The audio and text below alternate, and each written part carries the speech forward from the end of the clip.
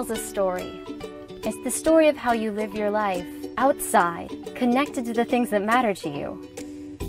But if your skin could ask for something, it would ask for protection.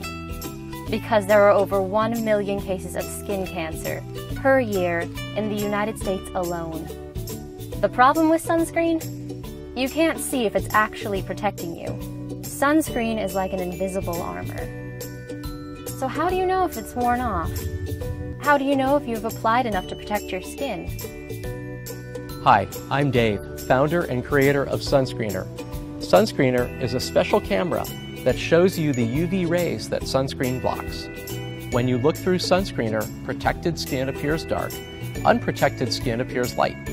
You can actually see the spots where water, sand, or sweat has worn away your protection.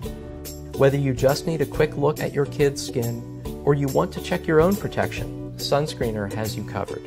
I love spending time outside with my family, but I've always been concerned about skin damage. My goal in creating SunScreenr was to find an easy way for my family to protect ourselves while we enjoyed the outdoors. So I took technology that was previously only accessible to scientists and made it accessible to all of us. SunScreenr is easy to use, waterproof, and durable. It's smaller than a granola bar, yet as powerful as a multi-thousand dollar camera.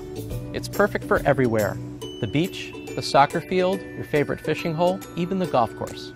And it helps us protect our skin and our loved ones from sun damage. Your skin story should be about doing the things you love. Protect it with SunScreenr.